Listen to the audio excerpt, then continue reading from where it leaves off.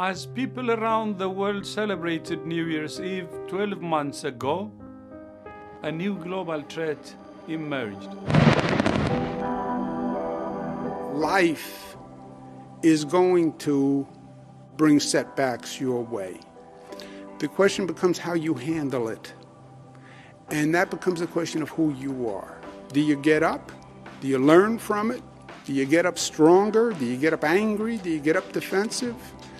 Uh, or do you just stay flat on your back?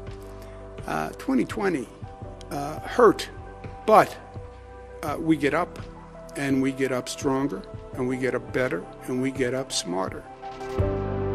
In 2020, a health crisis of historic proportions showed us just how closely connected we all are.